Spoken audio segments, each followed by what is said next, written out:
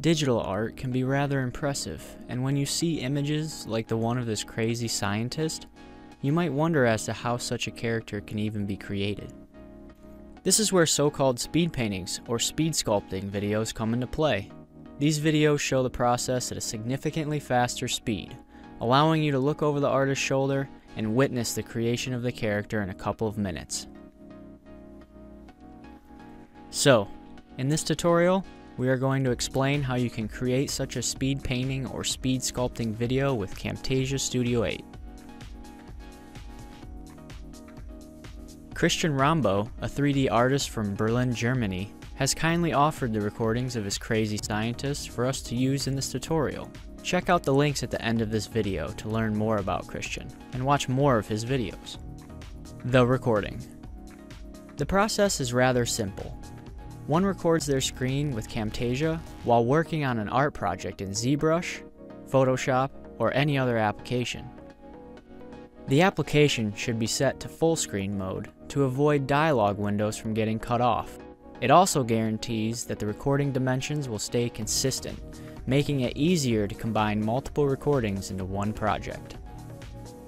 It's also advisable to record longer projects in multiple sessions or pieces. This optimizes the available CPU and results in smoother recordings. 30 to 40 minutes max per recording is recommended. When the piece and the recordings are done, it is time to combine, optimize, and speed them up in Camtasia. The editing process. The Crazy Scientist was recorded in three sessions, and therefore I have three recordings in my clip bin. First, I'll drag them into my timeline in the right order and verify that I'm using the right editing dimensions. 1280 by 720 is always a good choice. Next, I'll check if there are any parts of my recording that need to be removed, such as save as dialogues, long breaks, or any other applications that might be shown. Select the infringing segments with the playhead and choose Cut to remove them from your project. All good. Now it's time to speed things up.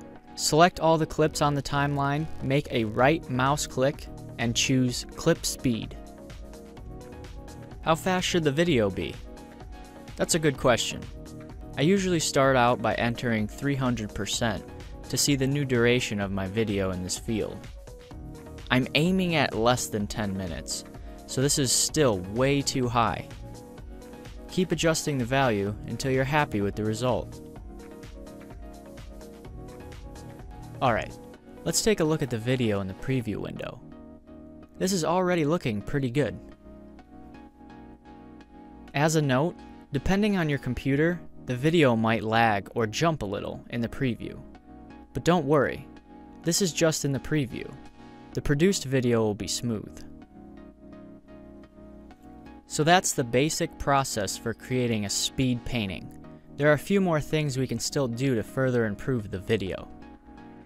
Here are two rendered images of the scientist which I would like to show at the beginning of the video. I drag them onto their own track on the timeline and adjust their length to 2 seconds each. Next, I hold down the shift key while dragging the video clips to the right, creating a gap which will perfectly fit my images. Bingo! I also have the logo of the artist, which I will place at the end of the video. Let's add a few transitions. Almost done. One thing that is still missing is background music. The Camtasia library offers a variety of pieces, and I add the one I want to my project. Since it's not long enough, I'll add it a second time and overlap them by about 2 seconds.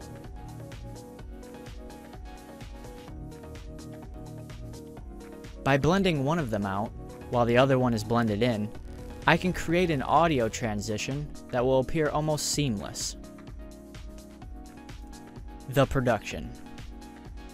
The video is ready to be produced, or directly uploaded to YouTube. This might take a few minutes depending on the length of the recordings, so grab yourself a drink and watch one of our other tutorials. Or maybe one of the other speed sculpting videos by Christian Rambow. And that's it. If you find this tutorial helpful, give it a thumbs up and consider subscribing to our channel. Thanks, and until next time.